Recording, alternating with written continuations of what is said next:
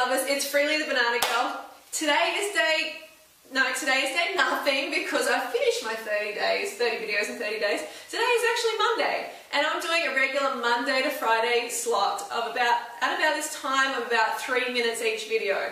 So, you know, different topic each day. Make sure you leave any comments you have about that in the the comments below. If you want a different subject, let me know. Give us a thumbs up if that's what you're interested in, if you like the Monday to Friday idea. And today's topic is how I got very sick on a raw food diet. So I know a lot of you out there are like, oh my god, great. You know, I'm coming to this lifestyle, I want to be healthy. I don't want to be sick anymore. Well, never fear. This is actually a very, very healthy way to eat. The raw food diet, the high carb raw vegan diet is a very healthy way to eat. But what I want to emphasize today is it's not the only thing. What you eat is not the only thing that's important to your all-round health.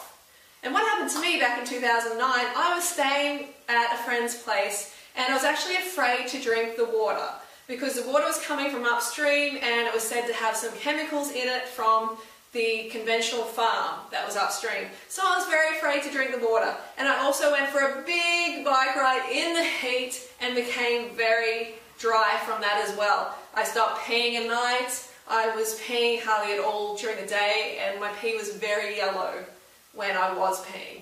So I became very dry and actually contracted a staph infection. And this staph infection was severe. It was quite scary indeed. And to the point I was almost afraid for my life at one stage. I covered that my legs were covered in staph infections and my arms as well. I never experienced anything like this in my life, but I've never compromised my immune system this strongly, never been this dehydrated. So does that mean the raw food diet is deficient or, you know, it's the fault of the food? No, it's not at all. You know, you give, you're giving your organism, your body, the best chance ever on a raw food diet. But there's more to the story. If you don't drink enough water consistently, if you don't sleep enough, you're going to com compromise your immune system and there's going to be potential invaders coming in and causing disease. It doesn't make you invincible eating a raw food diet. It does make you healthier, but remember there's other things you have to incorporate to be healthy. And how did I overcome it? Well, I went on basically watermelons for about two months because I knew I had to lighten my lighten the digestive load. So the healing energy, instead of going to my digestion, could go and heal the staph. And it did take a couple of months because it was quite severe. But I learned a valuable lesson. Keep hydrated.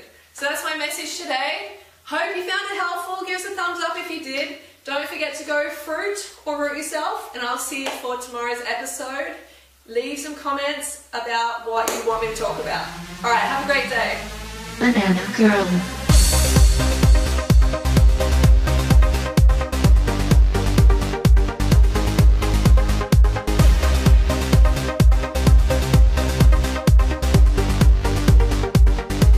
Yourself.